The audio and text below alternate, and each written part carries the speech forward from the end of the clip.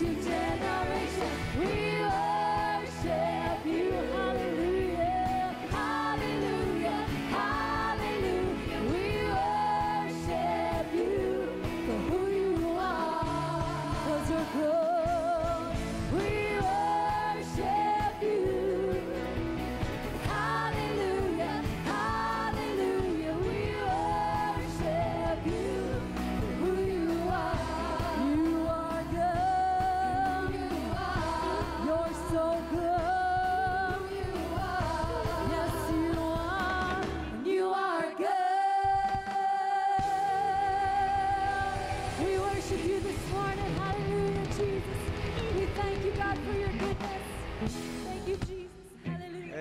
How many know God is good?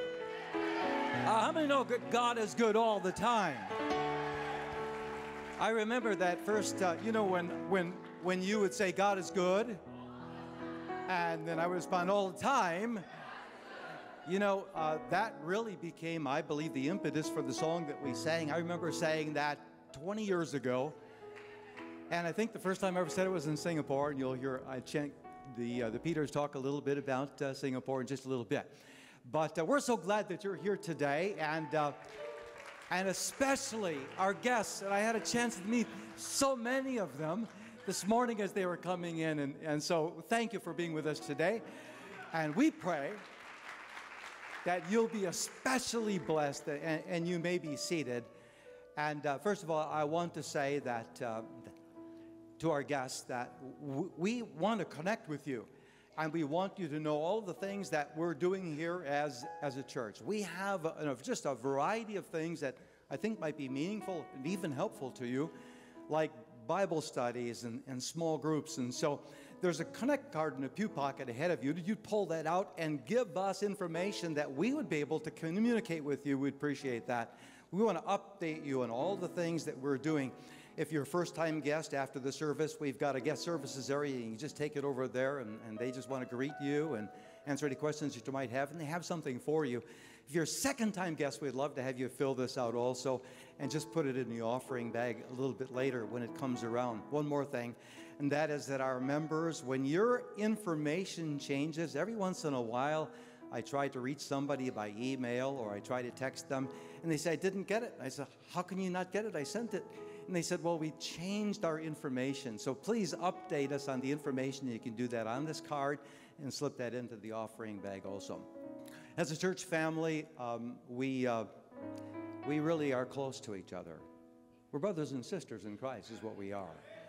And so, you know, when, when somebody grieves in the family, all of us grieve in the family. And I wanted to pass our church's condolences to Gary Rajewski and his family on the passing of, of his brother. His brother was a twin, by the way. And so it's very, very close to Gary, and so we, uh, we want to hold him up in prayer. At the same time, we rejoice when people rejoice. And, and so we had some baptisms this past week. We had Joseph Morales and their Heather Wolf. Now, take a look at that. Now, if you look at Joe's picture, he's smiling there. It's maybe hard to see from where you're at. I was talking to him when he came in this morning, and he said, uh, he said, Heather, and, and they're engaged. He said, Heather uh, is taking pictures of, of, of me now. She has the BC pictures, and I'm always frowning. And now the difference is I'm always smiling. So we're happy for them. Well, we're going to pray for this service. It's going to be a great service. Has some wonderful things planned, and uh, and so um, let's just ask the Lord to have His way. How many want God to have His way? Amen. Now, now I know that you do, but I will tell you then that that's that's risk taking. God might have something in store for you, and, and maybe you haven't even prepared for that yet, what God wants to do. But maybe, maybe God wants to fill you with the Holy Ghost today. Are you ready for that? Oh, that would be wonderful, wouldn't it? And uh, so there's other things that God wants for our life, and we just need to open ourselves up to what God wants us to do because He's good all the time. Would you pray with me? Father, we're grateful again for your blessings in our life. We don't deserve all you do for us, we don't deserve your goodness. That's grace. And we appreciate that, Lord. We believe that everyone is here by a, by a divine appointment today. And Lord, I know you have a plan and a purpose for their life. And I pray that today will be meaningful to them, that something special will happen in each and every heart that's here. And we'll give you all the praise and the thanks for it. Praise God. Now, I want you to know that there is a face for Parkway. When I say that, and everybody knows who it is because he's on the screen every week. He tells everybody about everything that's going on. That's Parkway's face, you know. I want you to know today is his 30th birthday. And so, if you get a chance later on, let him know how, how really happy that you are that he's going to celebrate that day. God bless you all. I know you gave your life as part of your plan so I can live again.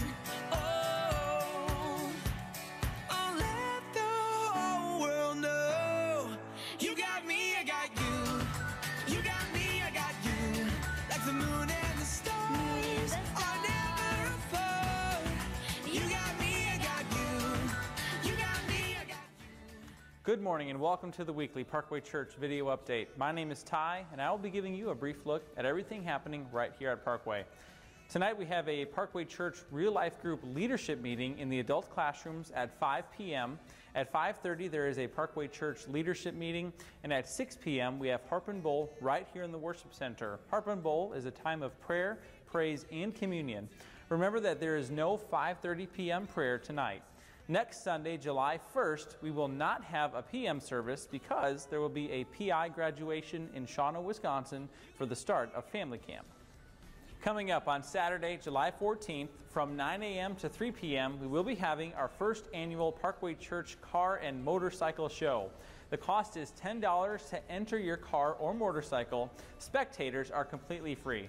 All benefits from this car show will go towards faith initiatives. If you are new to Parkway or you've been recently baptized, or if you have any questions about Parkway Church, we want to help you grow. Grow is a four week class that happens right here in Adult Classroom A. It is ongoing and you can join at any time. For more information, you can visit guest services or email for you at theoakcreekchurch.com. This past week, we sent an email to all of our church members for them to update or confirm their contact information. If you did not receive that email, that means that we do not have an updated email address on file for you. To update that, just fill out a Connect card located in the pew pockets in front of you or on the back sides of the balcony. Drop that Connect card in the offering bag as it goes by. As always, if you have any questions about anything that we've announced, you can pick up a 411 information sheet, stop by the Parkway Happenings wall, or visit us online www.theoakcreekchurch.com. Now, please enjoy this service. Let's all stand again this morning. This morning, I'm thankful for the grace of God and that He is more than enough for me. Amen. Thank you, Jesus.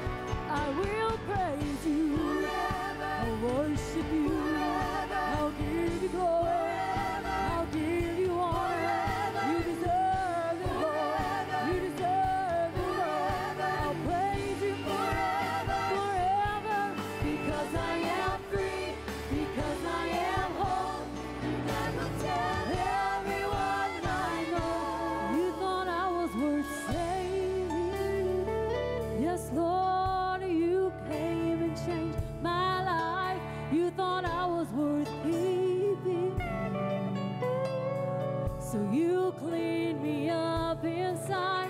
You thought I was too tired for.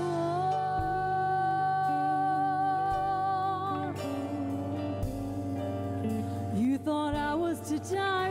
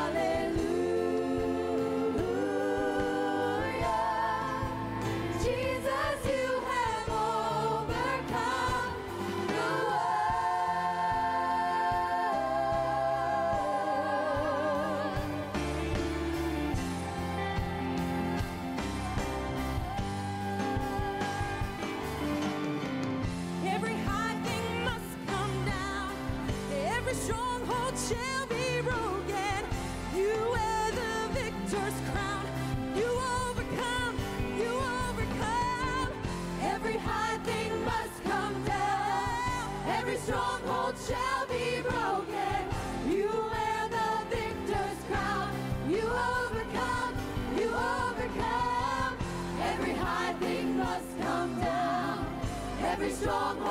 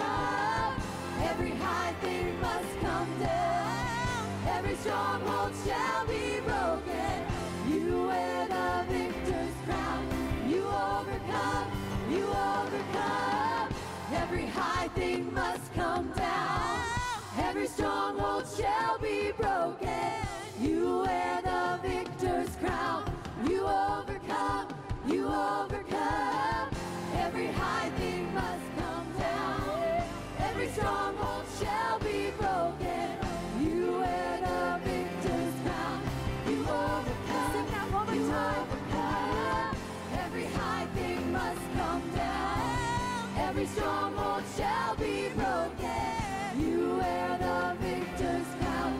You overcome. You overcome.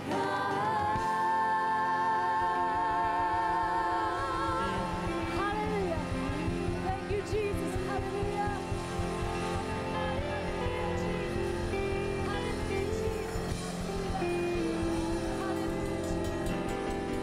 Hallelujah. Let's just worship him again. Thank you, Jesus. Lord, thank you. Thank you for being the overcomer, Lord. Hallelujah. Jesus said that. He said, If I have overcome the world, and we can take comfort and have peace in that. Praise God. Aren't you glad that you have that power in your life? Amen. There's so many things that we come up against. Amen. But we have that overcoming power. Praise God. You may be seated. Some of the songs that we talked about talk about the word worship. And uh, when we think about worship, I think the majority of us automatically thinks, well, we're doing that right now. We are worshiping God, and indeed we are. I, I, I think of a couple of other words when I think about worship. One is to honor Christ. Another is to glorify Christ. But the reality is, as we honor Christ, we glorify Him way beyond what we do here right now. Would you say amen to that? When I leave this place, you know, and, and I go outside into what we consider to be the world or the system around us, uh, the reality is, is the way that we choose to live our lives is worship to the Lord. Would you say amen? It glorifies Him, is what it does. As a matter of fact, the next part of our service is also worship to Him. We glorify God by our giving. And I want you to know, if you're a guest today, we didn't ask you here to give. Please understand that this is something that our church family does, and it's part of our the love that we show to be involved in the cause of Christ by our giving.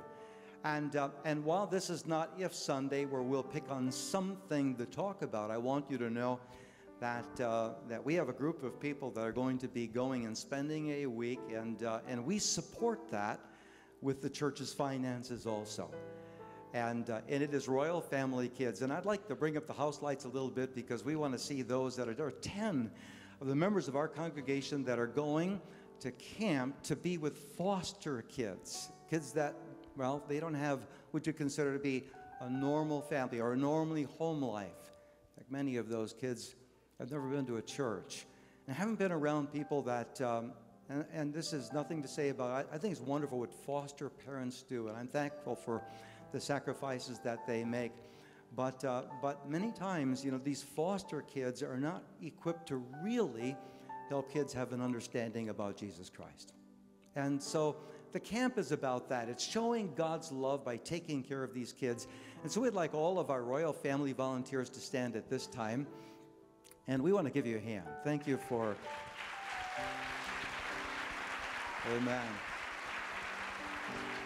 They don't Listen, they don't, they don't get paid to do this. I, I shouldn't say that. God, God has a way of blessing that's so amazing, does He not? But they take off from, from their jobs and, uh, and sacrifice and give by spending that time. And we love you and we thank you for what you do. Now, we also, uh, not only do we support what they do, what Royal Family Kids does, um, with our finances and by having volunteers, but we pray for them. And we're going to do that right now. We want to pray for our volunteers and pray for the camp, that God would use that camp to minister, you know, say minister, that He becomes dad, He becomes the father to them in a very, very special and unique way. Would you pray with me? Praise God. Lord, we're grateful for volunteers, people that will take time from their schedule, giving of their lives in order to help children that are living in foster homes. Many times, Lord Jesus, they'll never see a normal family, but they have an opportunity to be with people that, that will really love them and really show Christ to them in such a unique and special way. We pray this camp this week is going to be a, a special camp. We pray that you keep everyone safe, Lord, and that, Lord, uh, you, by your Spirit, Lord Jesus, will be able to minister, Lord, through these volunteers and through those other volunteers that are there throughout the week. And we're going to give you all the praise and the thanks for it. We pray your blessing now upon this offering. Again, it's, uh, it's for your purpose, for the cause of Christ that we give. And uh, we ask, Lord Jesus, that, Lord, you use it for that purpose. In Jesus' name, amen.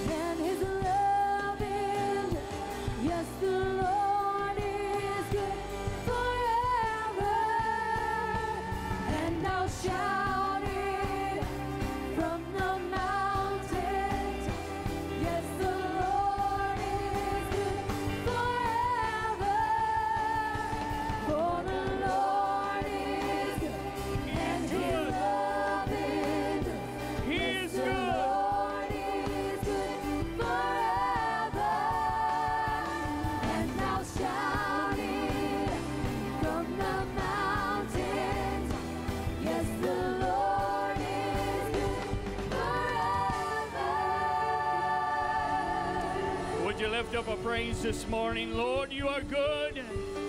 You are great. You are magnificent. You are supreme. You are sovereign. We give you our praise. We give you our worship.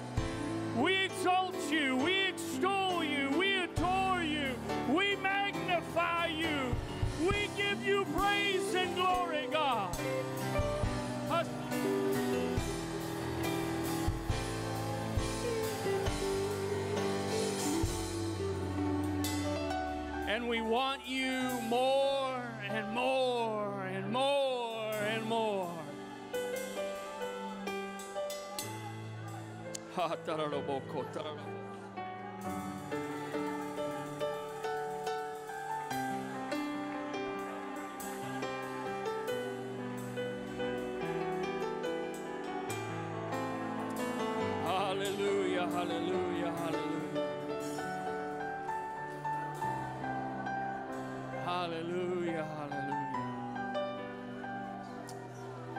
am so thankful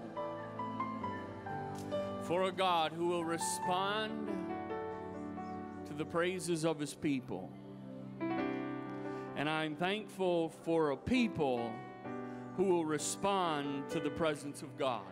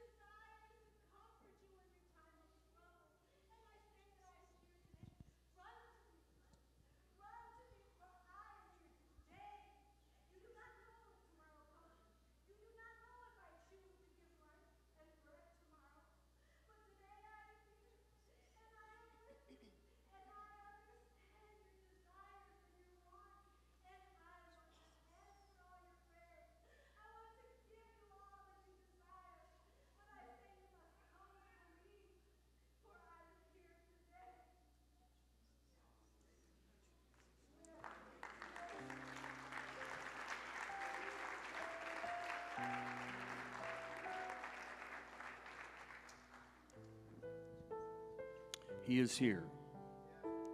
He is here to minister. He is here to save. He is here to heal. He is here to restore. He is here to strengthen. He is here to make you a part of His family, to anoint you, to make you a peculiar people, a peculiar, a special treasure unto Him. I'm thankful that He is here this morning. If you would grab your Bibles this morning, and I'm going to take a text to open from Proverbs chapter 3. And um, as you're turning to Proverbs chapter 3, we'll, we'll read verses 5 and 6. But I want to take this moment while you're turning there to say thank you to every one of you that um, looked after my children while we were gone, made sure that the parsonage didn't burn down, and made sure there was no wild parties. Thank you, Pastor, for keeping an eye on them. And uh, I would say thank you to all of you who prayed for us and for the, the meetings that we had while we were there.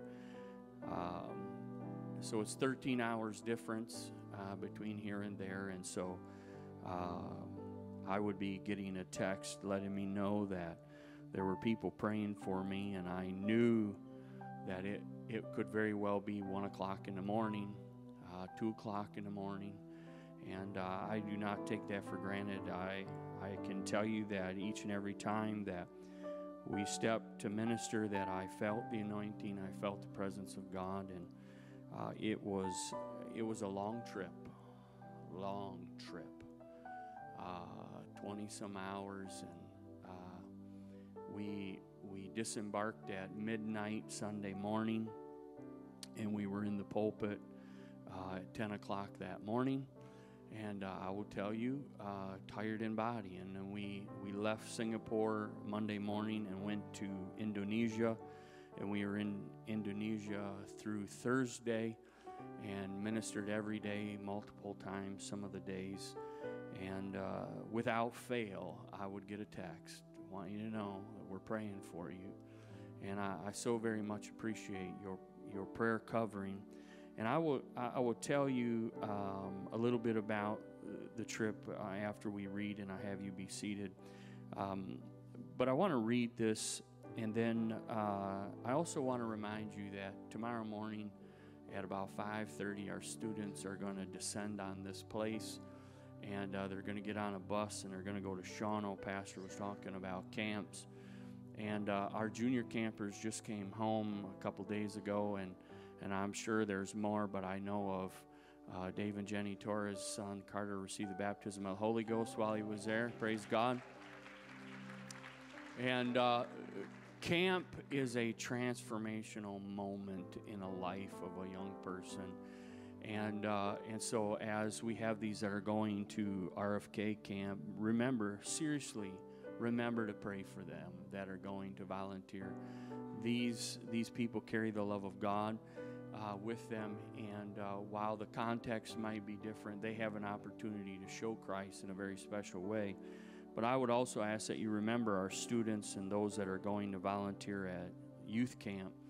Uh, because, again, these are moments where young people hear the voice of God, receive a call of God upon their lives. Their lives are forever changed. Those services become a memorial in their lives.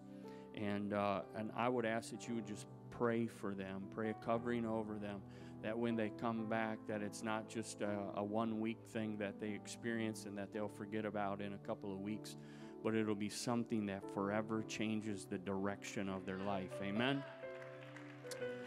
So, would you read with me Proverbs chapter 3, verses 5 and 6 says this. We know this, probably can quote this. Trust in the Lord with all thine heart, and lean not unto thine own understanding. In all thy ways acknowledge him, and he shall direct thy paths. My title this morning, very simple thought, is Here Headed for There. Here Headed for There. Would you, one more time, would you go to the Lord with me in prayer for this message and for our time together? Lord Jesus, we love you. We're so thankful for your presence that is here in the house this morning. We thank you, O oh God, that we have an understanding that no matter where we are, we cannot escape you. We can ignore you, but we cannot escape your presence. And so this morning, God, we are full aware of your presence.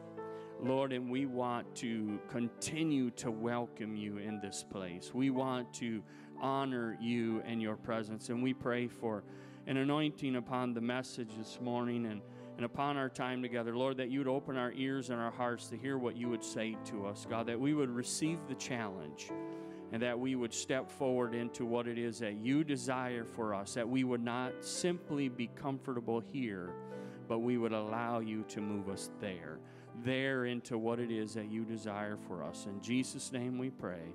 Amen. You may be seated.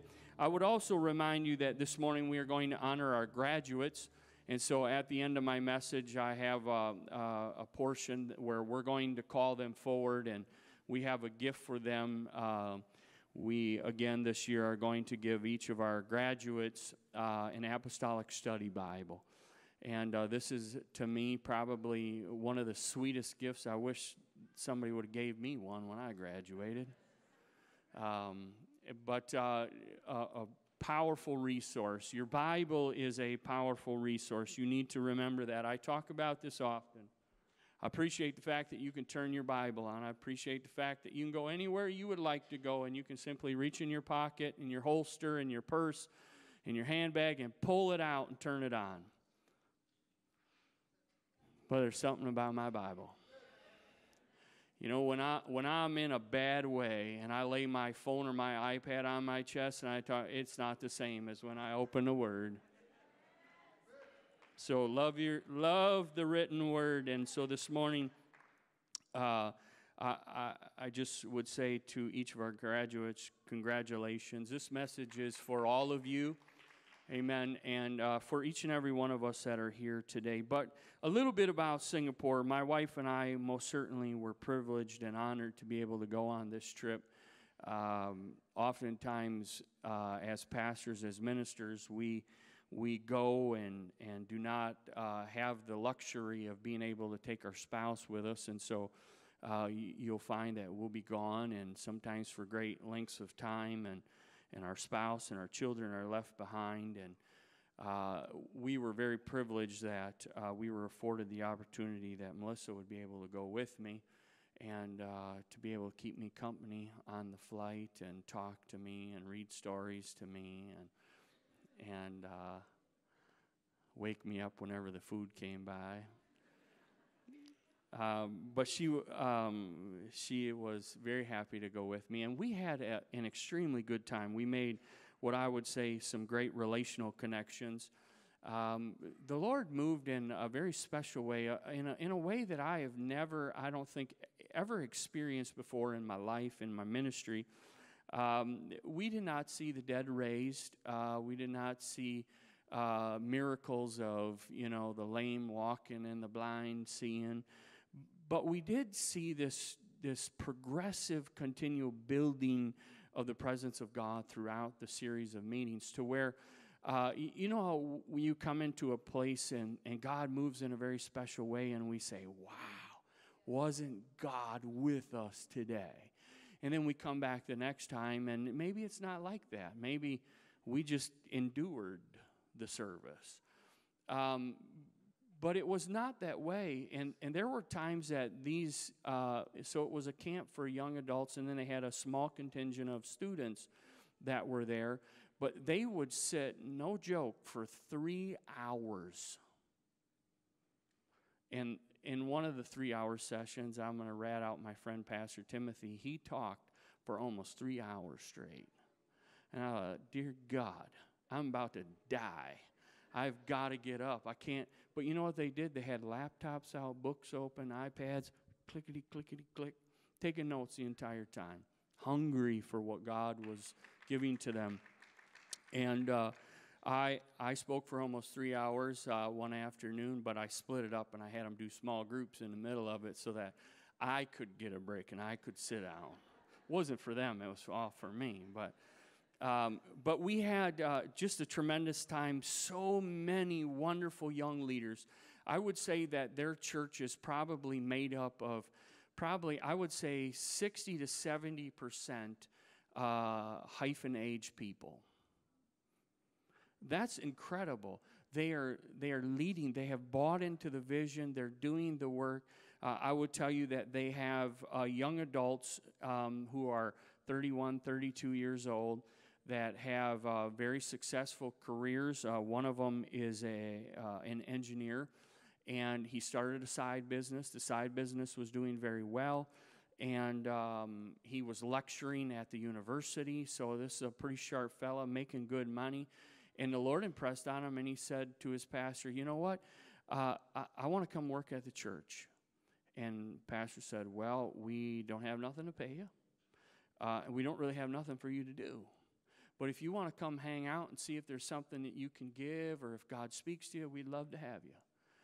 So the young man puts his resignation in and says, I'm taking a year off. And I'm going to go hang out with my pastor. I'm going to go hang out at the church and see what God will do in and through my life. Um, I'm not suggesting that anybody do that or that that's something that any one of us should be expected to do.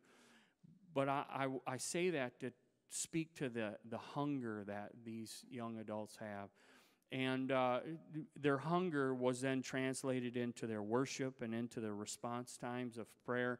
That uh, I would get done speaking, and they would still be in the altar travailing for an hour and a half after the service, just travailing before God.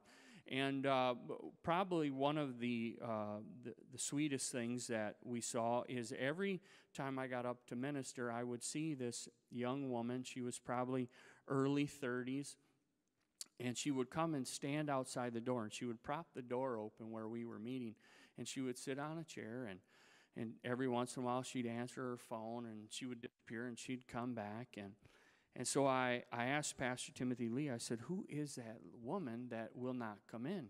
And he said, That is the hotel manager. And she came and sat outside the door every service that we had. And the last day, she was so hungry that she changed the schedule and said, I'm going to sit in the service. Now, the Bible says, Can a man take fire into his bosom and not be burned? Right? You get close enough to God, he's going to get you. And so here she comes, and she comes in, she sits in the very back row, and uh, the power of God is moving in the place, and she's responding in her way, but I'm thinking she ain't getting nothing out of it. I mean, stone faced, not really moving, and and uh, I give the the call for the altar, and all of a sudden I see her hand up, but she didn't move. She's in the same place. Her hand's up, and a couple ladies go and begin to pray for her, and the tears begin to stream down her face, and, and God fills her with the Holy Ghost. Amen. Now, I, I, I talked about her response uh, for a reason, and it's because afterwards she began to explain. She said, I have never cried in my life. Part of their culture is they do not show emotion. They're very stoic uh, in, in that part of the world. And, and as a result, she said, I, I have never cried, but I cannot stop crying. And I, I don't know what I'm feeling. I've never felt this before. And uh, so, lo and behold, we make this connection, and I find out that she is applying to come to Chicago to pursue her PhD. She has her master's, and she's coming to get her PhD. And uh, I don't think it's a coincidence that we happen to leave Singapore, go to Indonesia, be at that particular hotel, and that God would have her there and us there just by happenstance. And so I would say, uh, I believe that God is doing a work. I believe that revival is coming to that part of the world. I, we were there when uh, the, the summit happened between our president and that of North Korea. And uh, I, I, just believe that we are going to see a door open for revival. We've talked for years about China, and I believe that we will see a door of revival opened into China. But I also believe that we are going to see a door of revival opened into North Korea. And I'm, I, I don't know about you, but I, I'm hoping I speak for you when I say I'm going to be a part of that. I, am going to see God do powerful things in that part of the world as a result of our continued faithfulness to Him. So uh, I, there's so much we could share about the trip, but we were so humbled to be there. And the last day, uh, so we left at 3 o'clock in the morning on Monday. We left to go to the whole, uh, airport. And uh, we met with 50 some leaders of their church that Sunday night, and we were with them for about four hours And all I did is I carried a chair in my hand and I'd walk from every from table to table and I'd sit down and I'd say, "What questions you got? Personal, ministry, family, doesn't matter. What que-? And they would just ask you question after question. And, uh, and so I believe that we were a blessing to them. They were a blessing to us. We look forward to seeing what God will continue to do through that relationship. And uh, know that they love Parkway. And uh, they made sure to have me say hello to Sister Jenny. They, they love Sister Jenny. And uh, Sister Jenny, if, if you can get up to where you feel like you can sit in that airplane for that long, they would take you back for a month. I said I would, I would approve a month, but that's it. And then you got to come home. But uh, they love Sister Jenny. They love Brother and Sister Tamel. They love Parkway. And, and uh, they, they are so thankful for the, the influence of this church and its reach into that part of the world. And we most certainly, as a church, have made a mark in the lives of many people as a result of the faithfulness of you, of your giving, and most certainly as a result of Sister Jenny and the leadership of this church. So thank you for being you. Thank you for being a part. Thank you for allowing my family to be a part of what God is doing there as well. Uh, I want to move uh, from this and move into my message this morning. I believe that I have something very pertinent for us today. And uh, I want to talk to you a little bit about, uh, about Israel. And if you were to do a study on uh, the kings of Israel, you would come to a man by the name of Ahab. King Ahab. King Ahab was the seventh king of Israel after the nation was divided, uh, after having been unified under David and under Solomon. But Ahab um, became king of Israel when Solomon's son Rehoboam became, was moved to the throne and the people said, We don't want to follow him. And so we know that there were two tribes that stayed loyal and faithful to Solomon's son, and that was Judah and Benjamin. And then the other 10 tribes broke away, and they then had their own king.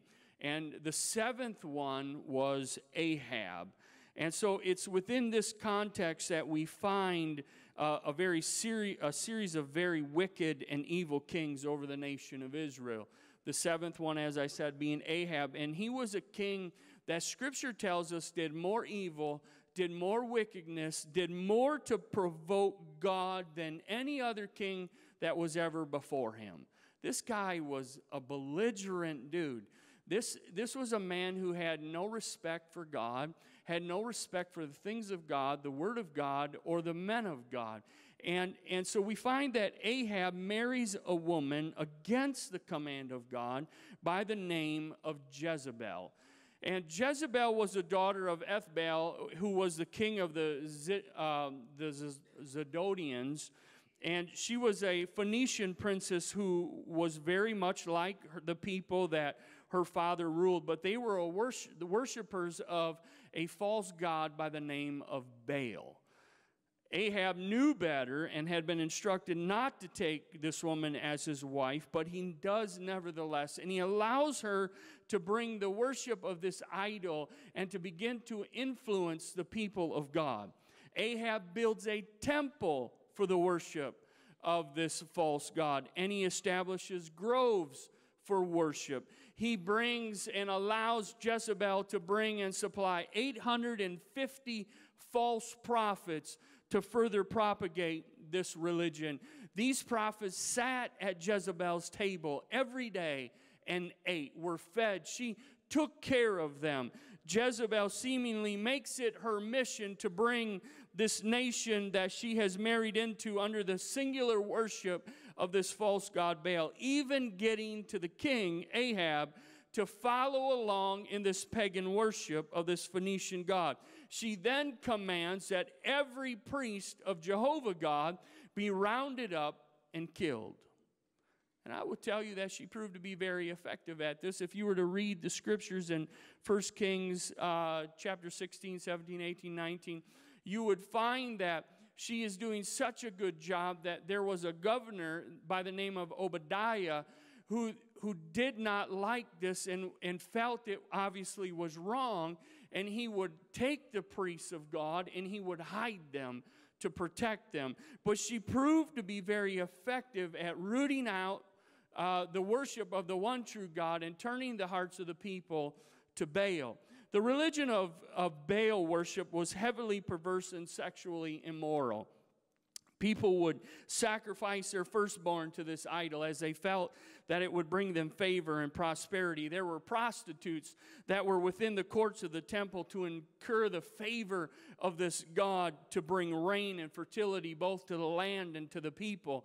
Understanding that Baal controlled, they felt, the rain. He was the guy that controlled whether or not the ground gave harvest and whether or not the wombs of the women gave harvest in the way of children. And so they would come to the temple and they would be involved in all sorts of debauchery, thinking that the more immoral and more perverse that they would be, that it would please Baal and he would answer by sending rain. And so it's in this context that we hear about Elijah for the very first time. Elijah just shows up on the scene. Never before talked about, never before described. And we find that Elijah the Tishbite comes to King Ahab with a rebuke and a judgment that as a result of his allowing and propagating the worship of this false God and allowing and promoting the whoredoms of God's people, that there would be no rain. Now, this is pretty significant because the people are worshiping a God that they believe controlled the rain. And Elijah rolls in and says, Oh, by the way, because of your failure, because of your wickedness, because of your sinfulness, I'm closing up heaven. There's not going to be any dew and there is not going to be any rain until I say so. Now, pretty grand statement. You have to remember this is a direct assault against the religion that is being established among the people in that day. This is a direct assault against the God which the people believe controlled the rain. This is a direct assault against the king and the queen of Israel.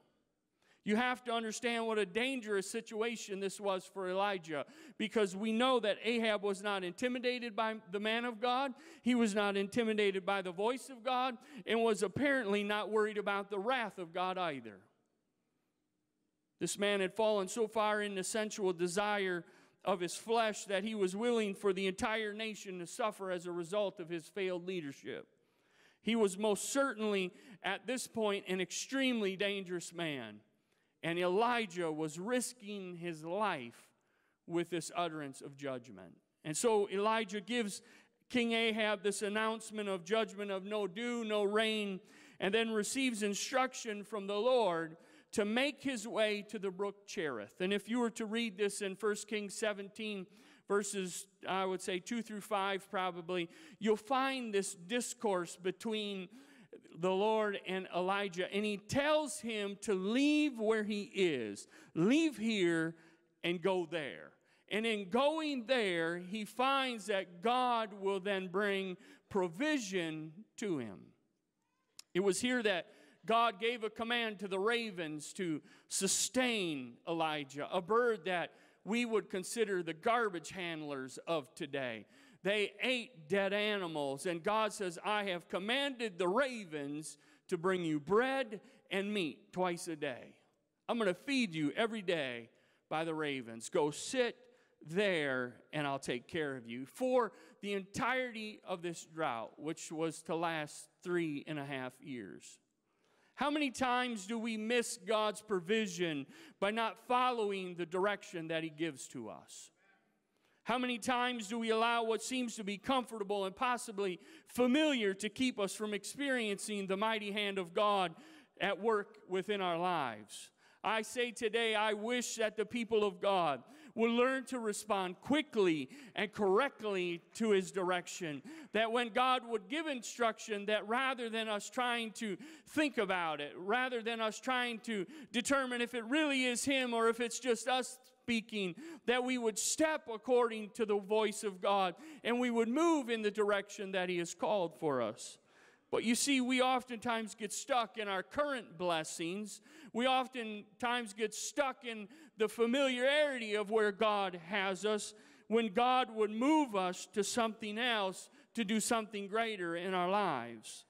And so I, I, seem to find Elijah in this situation. He's sitting by the brook, and the ravens are coming and they're supplying meals for him. And, and the brook then dries up as a result of the drought. And the word of the Lord comes to Elijah, and he says, Get up from here and go to Zarephath. There's a widow woman that you will find there. And when you get there, she will sustain thee there. You see, Elijah could have sat right there and said, But God, you've been doing such a good job here. Why do I need to leave? Man, I, I built myself a nice little shack. I got a good view of the water. Why don't you just turn the water back on? And I'm okay with the Raven Express delivering my meals. I'm comfortable. But God says, you need to move. And so when we look at 1 Kings 17 and verse 9, it says, Arise, get thee the Zarephath which belongeth to Zidon, and dwell there. Behold, I have commanded a widow woman there to sustain thee. We must be aware that there are times yet, even within the provision of God, that He will cause us to move, to be uncomfortable within the times of provision and blessing, that His power might be further revealed in our lives, and that He might be able to do greater things within us, that He might test us and prove us further. But we will have to be willing to move from here to there to experience that provision. We can decide to stay where we are and complain about the fact that the blessings have dried up and starved to death spiritually, or we can respond to the moving of God and go and experience the provision that He has for us. We cannot say, Haven't I done enough already? Why not just bring the provision here? We must move from the place where we are to the place that God is calling us. You see, we may even miss the very affirmation of God in our lives by not moving. Let me explain this to you. When the Lord instructs Elijah to leave the brook and to head to the widow's house, I have to believe it wasn't just simply to feed him. Because if it was, there's only one story of a meal that was prepared for him there. But what happens, we find that when, he, when Elijah gets there, he sees the widow woman and she's preparing, gathering sticks to make a fire. And he says, Hey, make me a meal of cake. And she says, Oh, my Lord, I, I was just gathering sticks to make a fire, and I was going to make the last meal that we have in the house for me and my son. We were going to eat it and die. And Elijah says, Well, you know, sometimes man of God can come across a little bit arrogant, and if I ever do, I apologize. I don't ever mean to be that way. A little bit presumptuous. And he says, Listen, listen. Why don't you make me one first? She just got done telling him, I'm going to make the last one I got. We're going to eat it and die. And then you're going to say, just hold on, make it for me and let me eat it. So she does. I love faithful people, right? So she makes the meal. And the Bible says that the, the meal barrel in her house and the oil, the cruse of oil in her house never went dry for the remainder of the, the, of the drought. So God does a miracle for her. But then the Bible says that a, a short time goes by and the son of the widow dies. Well, ain't that great? And so she comes to the man of God. She says, Look, what are you doing to me? Uh, you come here and now you're bringing my past sins upon me and making me pay for it by my child dying? And Elijah says, Where's he at? Give him to me. And as the story goes, he takes him into the house and he, he begins to plead with God. And God restores life back to the child. And he brings the child back to his mother. And he gives the child to his mother. And she makes this statement and I'm going to tell you, this is the entire reason why Elijah went there. I believe, my opinion, you got one, this is mine. She says this to him Now I know you are truly the man of God. He did a miracle, and the meal is not running out in the barrel. The last drips of oil in the cruse, it keeps dripping every time she goes to pour it. That wasn't enough. But now I know truly you are the man of God. I want you to understand that Elijah was a man fraught with insecurities, dealt with fear. We don't know a lot about him, but if you follow him, you find out that he was filled with self doubt and insecurities. I would tell you, as a matter of fact, this boy was so insecure that he would be moved to a place of depression till at one point he contemplated what we would call suicide. Just take my life. I'm done. I, am done. I'm over. But so we know that here Elijah is, and he receives affirmation from God through the voice of this widow. Truly, you are the man of God. And it's not long, and the voice of the Lord comes to Elijah again and instructs him to go present himself to King Ahab. Now, you have to understand this is a big deal because Ahab is sent out to all of the surrounding countries saying, Have you seen Elijah? And if you did, send him to me, dead or alive. I don't care. That guy needs to die. He shut up the rain. And so Elijah makes his way, and as the story goes, he's standing before Ahab. And Ahab makes this snarky comment to him as he rides up and he says, You who troubles Israel. To which Elijah replies, It's not me that's causing the problem, but you. But he makes a challenge to Ahab and he says, God is going to send rain. But I want you to gather all of the people of Israel and all of the prophets of Baal and meet me at Carmel. And so, as the story goes, they meet there at, at Mount Carmel, and Elijah stands up before all the people and he makes this statement to the people of God. And he says, How long will you halt between two decisions? How long will you stand in the middle? Do I go this way? Do I go this way? Should I step this way? Should I run that way? What do I do? He says, You need to be serving God. But he says, Today, he said, Let's make a, a proclamation that the God that answers by fire, him will we serve. And so he says to the prophets of Baal, and many of you probably know the story, but he says to them, I'm going to let you guys go first. I, will defer to you. You go first, and, and you pray to Baal, and if he sends fire, awesome, but if he don't, it's my turn. And so the scripture says that they begin in the morning and they prepare the altar and they put their sacrifice on it and they begin to holler out to Baal, Hear us, O Baal! Hear us, O Baal! The Bible says that about noontime, Elijah stirred and he hollers at him, Hey, maybe you should holler a little bit louder. Maybe, maybe, just maybe, he's in the bathroom. Read the Bible. That's what it says. Maybe he's in the outhouse relieving himself and he can't hear you. Holler a little bit loud. Maybe he's daydreaming. Maybe, you know, maybe he fell asleep. Holler louder. Maybe he went on a journey to a far country. Holler a little bit louder. And he's mocking them and provoking them. And the Bible says that they begin to cut themselves and they begin to throw themselves on the altar. Hear us, O Baal. Hear us, O Baal. And the scripture says that about the time of the evening sacrifice, that Elijah is done making fun. He's tired of listening to them. He's tired of the scene that he's seeing. And he says, All done, my turn. And the Bible says that he gathers the people to him and he begins to rebuild the altar of the Lord that was broken down.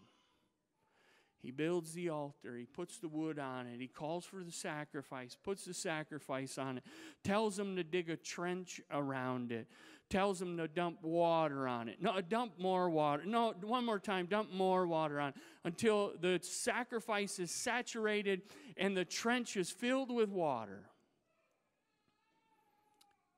And he kneels down and he prays, prays a very simple prayer. And he says, God, this would be in my words God, you told me to come here. And I'm going to step. And I told them that the God that would answer by fire, we would serve. So today, I bring them before you. Hear our cry and answer. And the Bible says immediately that fire fell from heaven. You know, I just want you to know, I don't know how many of you ever seen T-ball, but you know, you got this little stick and you put this little ball on it, right? And sometimes when the kids take a good healthy swing, they hit the stick, right? Not only in my mind is Elijah standing there thinking, oh yeah, fire just came down. God, you just hit a home run.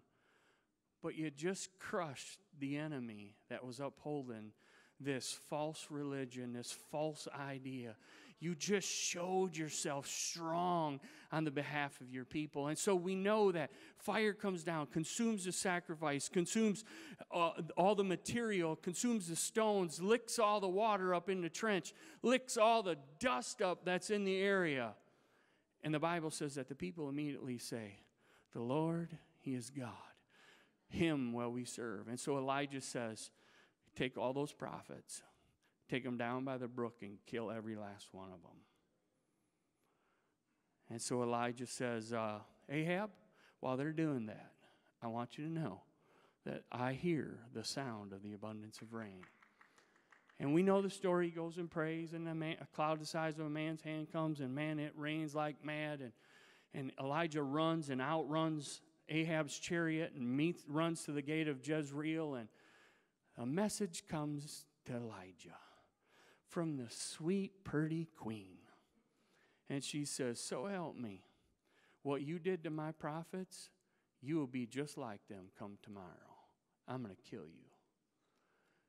Now, you got to understand something. This guy just saw a monumental miracle. And some woman opened, now I'm not talking bad about any of our women, okay? But some woman's going to run at the mouth and say, I'm going to get you. He wasn't afraid to stand in front of King Ahab. He wasn't afraid to stand against 400, 800, however many of the prophets that were actually there that day. He wasn't afraid to make some great statement that God's going to answer by fire. And this woman says, By the way, I'm going to kill you. And he starts running. Well, so he runs. He's in fear, he's in denial, and he runs and he finds himself under a tree, the Bible says. And he begins to complain to God. I hear Jonah in this complaint, and he says, You might as well just kill me. I'm the only one left. Nobody else loves you. You know, everybody hates me. I'm just going to go eat a juicy worm, right? He's upset. And so God begins to deal with him, and he, he's in a cave, and he takes an well, first he takes a nap, and he wakes up, and an angel's there, and an angel had prepared a meal for him, and angel says you need to eat this because you're going to have to have it for your journey. And the Bible says that that one meal sustained him for 40 days. That's a meal, right? But we find this guy sitting in a cave, and the voice of the Lord comes to him and says, Elijah, what are you doing here? And Elijah begins to complain, begins to talk about all of his insecurities, talk about all of his fears.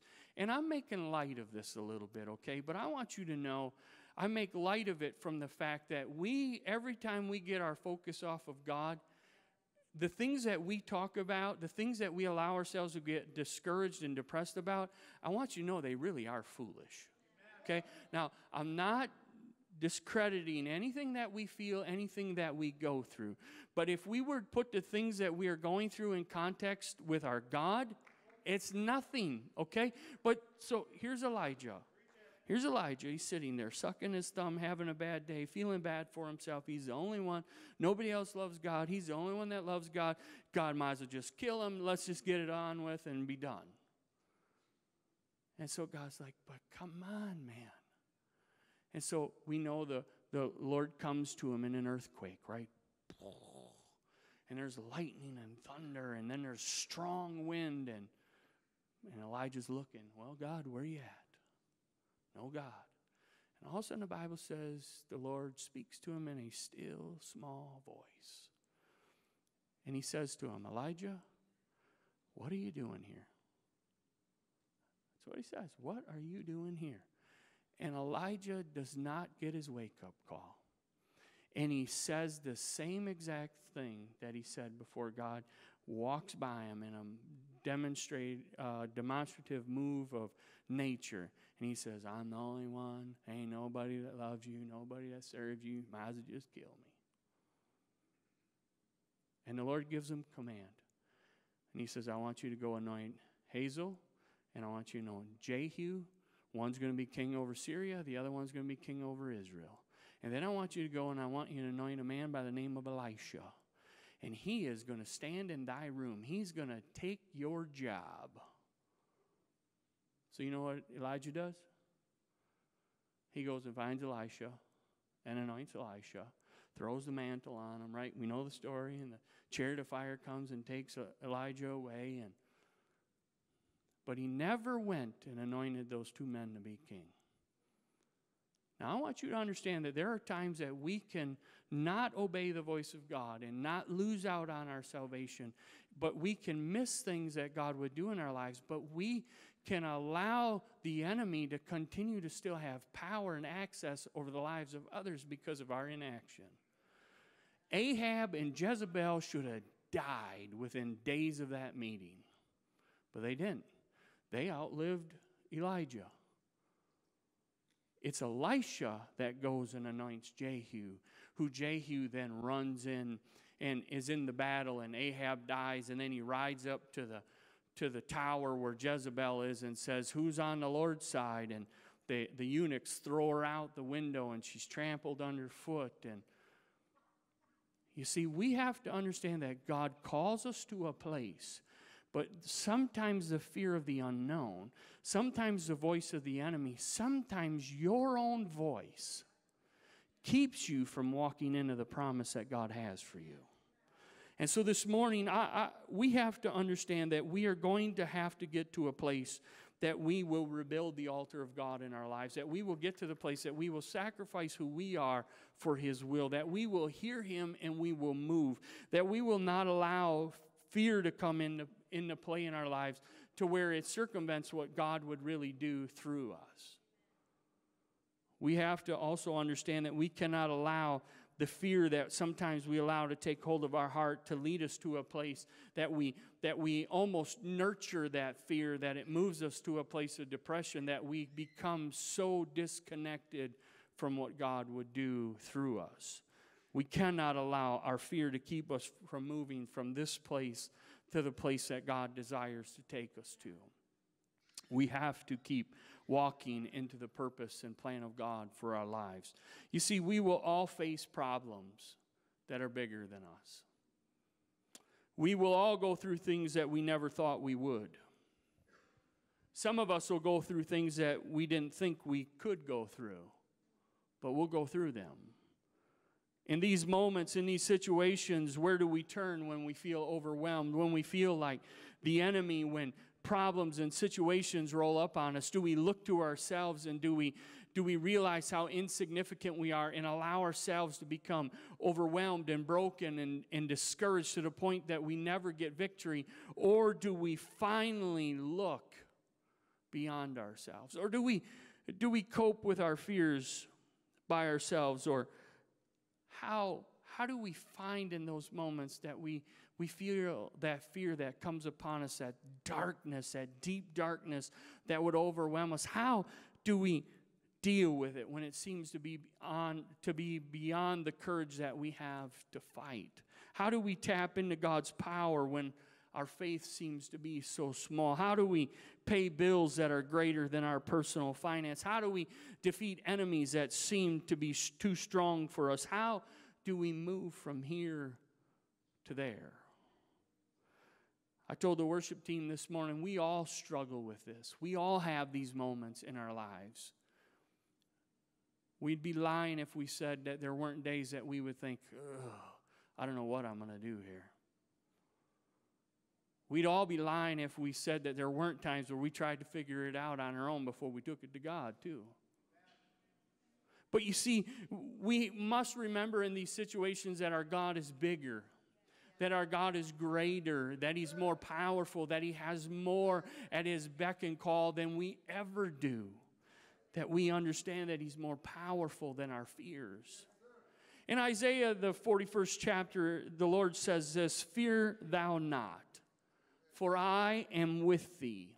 Be not dismayed, for I am your God. I, I will strengthen thee. Yea, I will help thee. Yea, I will uphold thee with the right hand of my righteousness. God is bigger than our fears. He's better than our faith, has more provision than our lack, and is stronger than my enemy. There is nothing that comes into my life that is greater than my God. There is nothing that comes into my life that when I find myself here and God says, I need you there, that when I look at the process of the move, I say, I don't know if I can do it. You're right, you probably can't. But He is more than able to carry you from here to there. We need to get to the place that we're willing to move from here to there. Our God is able to keep us and to lead us to the place that he desires us to be. Paul said this about the Lord God is able to keep us and to complete in us the work which he began. We simply must not allow our fear of the unknown to stall us out but lean on God and trust in Him, and then He would perform His work in us. The scriptures that I read this morning trust in the Lord with all thine heart, lean not to thine own understanding. In all thy ways acknowledge Him, and He shall direct thy paths. We've got to get to the place that we stop trying to figure it out and we start submitting to the will of God. You want me to go there? I don't know. Make the way plain. I'll walk it. You just show me where I must walk, and He will direct our paths. This morning, I, I know that there are so many of us that have experienced these moments of transitions in our life. Many of us have uh, graduated from high school, graduated from college, but then we've graduated into relationships and, and marriage, and some of us have experienced divorce and loss and financial ruin and sickness. And there are times within these moments of transition that the fear is very real. That the fear is overwhelming, and we don't know if we can take another step. And I have said for many years that I believe that it, at every transitional moment in your life, you need to build an altar. And you need to ask God to refill you with the Holy Ghost. At every transitional moment in your life, you need a refreshing because you move into a new dimension in your life and you can't fight the same way you fought in the last one. You can't expect to necessarily just say the same thing and it's going to have the same effect when you move in. I, I, think about young people when they go from middle school to high school, right? They roll in and they're freshmen, they ain't nobody. And that's scary. But when they move from high school to college, that's a new dimension. That's not another level, it's a new dimension. Everything, the whole package changes. And so this morning, I, I'm going to call for our graduates this morning. I, we've asked Brother and Sister Tamel to help us with this, and, and if you would make your way over there. Um, I'm going to call your name, graduates, and I would ask that you would come immediately, okay? Do not wait. Uh, I want to give you some instruction uh, right here at the end.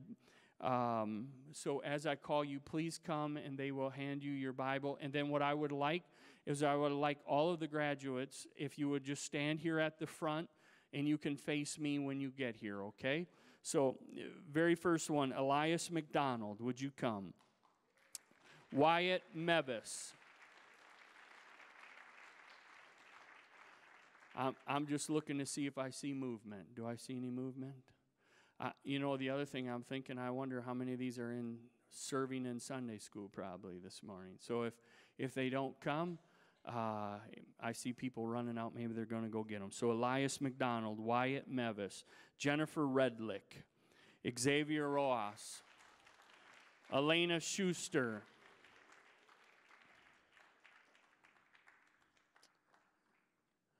I'll give them some time. No, go get your Bible. Go get your Bible and then come back. It doesn't matter how old we are, the instruction, it doesn't seem to all register. You're laughing, but you know you struggle with it too. Proud of these. John Zozda.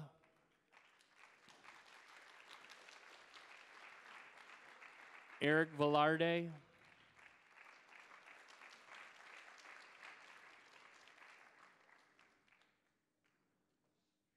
Justin Widmer. Boy, this is thin. You know, I, so I, this is one of those moments where I say, you know, I sent an email out. We, we sent out a reminder and said, we're going to do this. Please be in the service this morning because, right? Uh, make sure your information is updated so you actually get those that communication. Uh, Larissa Zimmerman.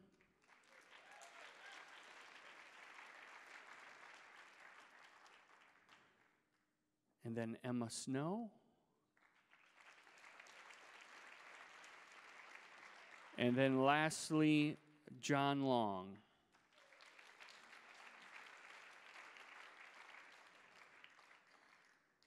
So not all of them are here, but I want you to know I have a message for for our graduates. First, I want to say to to each of you how very uh, proud we are of you, and uh, you will find uh, when you open your Bibles that uh, both Pastor Tamel and I wrote a note to you in in the side the cover of this, and this is where somebody needs to hold up the aw, Pastor, right? But w- we wrote a, a note to you, and it seems like every year, and um, when when we do things like this, uh, I always include my opening text today: "Trust in the Lord with all thine heart, lean not right," uh, because I believe that's a life principle. If if you can apply that to your life, no matter where you are, if you stay here or if you go on somewhere in ministry and education and career and family, no matter where you go, if you apply that principle to your life, God will keep you. God will direct your paths. You will ordain the things that you would do. And so I, I have a challenge for you as as graduates, and I would ask for the church to stand this morning. Um, and, and I'm going to say that when I'm done here, I'm going to open this altar, and you can come and pray. And if uh, there's family that wants to come and gather around these and pray for these, um, again, this is a very transitional moment in their lives. You need a refreshing in the Holy Ghost. Um, you do. You need you need that freshening in in the presence of God. And so, my challenge to not only you as graduates, but my challenge to us as a church is we have to remember that we are here right now, but there is a there we're heading to. Some of it is in a short context of time, some of it is in an eternal context of time. But God is drawing every one of us to a there. But we need to respond to his voice. You see, the Bible says that he will make the crooked way straight. And I oftentimes think about the wanderings of my life, right? Oh, God. I made, Emma, I made a lot of mistakes. I really did. Uh, a lot of things that I wish I could take back. A lot of things that I wish I could do over. A lot of commitments and consecrations in my life that I wish I would have made sooner. But the beautiful thing about God making the crooked way straight, you know, I say He does not always uh, ordain every step that we take because we're, uh, we'll speak our language, okay? We're dumb, right? We're just dumb. And we do our own thing sometimes. But if we will recommit ourselves to God, He'll order every one of those, even the mistakes that we make. He'll order them for His glory. He will still find us usable and placeable in some way within His kingdom. And so this morning, understanding that we are all headed somewhere, there is a there that we are traveling to. It is important that that we respond correctly because whether or not we arrive at that place depends entirely upon us. I, I, it's a newsflash, okay? Not even God can put you where you won't go. He will submit to your will, even in your disobedience. God has a there fashioned for my life, and I want to arrive at it. Therefore, my decisions today and tomorrow, they matter. So, what is God able to accomplish through your life? Again, that's entirely up to you. How will you respond? And so, my challenge is that we, we cannot let fear, we cannot let self doubt, we cannot allow insecurity to get in the way of what God has spoken over our lives. The world says a lot of crummy things to you. You say a lot of crummy things to yourself. But I want you to know that God says beautiful things about you. God believes beautiful things about you. And oh, by the way, all of you as well. And so this morning, uh, I would ask if there's family that wants to come and pray that you come right now. Otherwise, you're going to get stuck in the rush. So if you want to come and pray for any of these students, please come. Any uh, anybody that's relationally connected that wants to come, please come. And this morning, as as we as we move into this time of committing ourselves to God, recommitting ourselves to God, I look at Elijah powerful man of God. Yet a, a man who was fraught with insecurity and self doubt, that thought it was better to be gone than here. To where God moved his anointing to another. I don't want God to do that in my life. And I don't believe that God wants to do that in your lives. I believe that wherever you go, God will use you. I believe God has a very specific plan for each of your lives. That no matter where you go, He will use you in a mighty way. And so I want to pray a prayer blessing over you, and then I'm going to open this altar for any of you that want to come and, and maybe recommit yourselves to the will of God this morning. We're here today, but we're going somewhere. And I want to make sure that I get there and I get where God wants me to go. Would you pray with me this morning? Heavenly Father, we love you. I thank you for our graduates. Lord, a tremendous accomplishment graduating from high school today. And yet, still a greater accomplishment as they continue to move forward and graduate from college, and some will continue on pursuing another level of education. But Lord, I pray that no matter if they move from high school into more education, they move from high school into the workforce, God, no matter where their journey takes them, I ask, oh God, for your hand of protection to be upon them. God, that you would release favor to them. God, that you would open doors of opportunity for them, that they would find prosperity and health, God, that they would find the very desires of their heart. But Lord, I pray that they would always remember, Lord, that if they would commit themselves, their hopes and their dreams to you, you will bring them to a place of completion and fulfillment.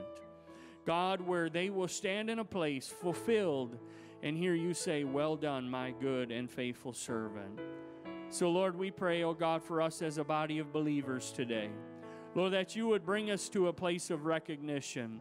God, that we would understand that our enemy is already defeated, that his voice carries no weight.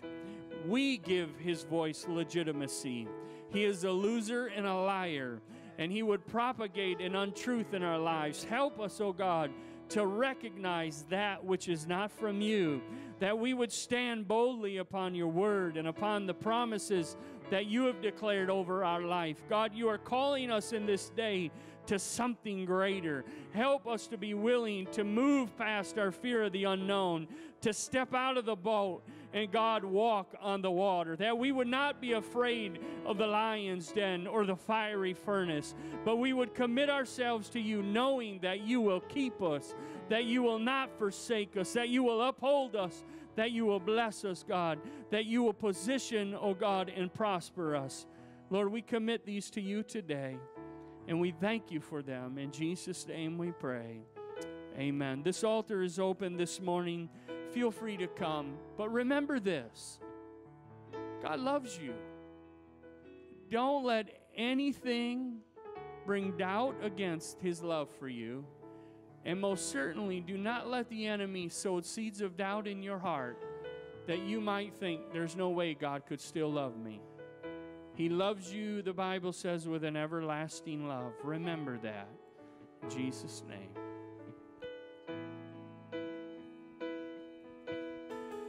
Give me faith to trust what you say. That you're good, your love is great. I'm broken inside, I give